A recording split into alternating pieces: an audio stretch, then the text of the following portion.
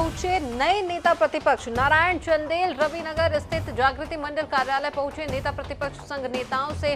उन्होंने मुलाकात की है। विधानसभा अध्यक्ष डॉक्टर चरणदास महंत से भी मिलने चंदेल पहुँचे। चरणदास महंत से औपचारिक भेंट करने नारायण चंदेल यहाँ पर पहुँचे हैं।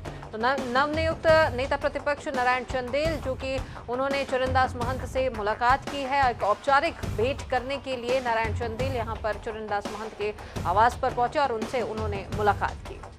तो आरएसएस कार्यालय भी ये पहुँचे हैं, नए नेता प्रतिपक्ष नारायण चंदेल, और आपको बता दें कि बीजेपी के भीतर पिछले कुछ समय से लगातार ये कयास लगाए जा रहे थे कि नेता प्रतिपक्ष को लेकर कहीं ना कहीं बदलाव हो सकते हैं, क्योंकि हाल ही में बीजेपी के नए प्रदेश अध्यक्ष की नियुक्ति यहाँ पर हुई है, और उसी के बाद से संभावनाएँ काफ़ी तेज थी कि एक और बड़ा बदलाव पार्टी के भीतर प्रदेश में देखने को मिल सकता है, और हुआ भी ऐसा ही कि नेता प्रतिपक्ष का जिम्मा अब नारायण चंदेल को सौंपा गया इनसे पहले इस पद पर धर्मलाल कौशिक कौशिक काबीज थे और अब नारायण चंदेल को यहाँ पर ये नया जिम्मा सौंपा गया ये नई कमान उन्हें सौंपी गई है। हालाँकि नारायण चंदेल के अलावा इस फहरिस्त में कई और भी नाम थे, ब्रजमोहन अग्रवाल, अजय चंद्राकर जैसे तमाम नाम थे, लेकिन नारायण चंदेल को ये नया जिम्मा दिया गया। पार्टी की ओर से।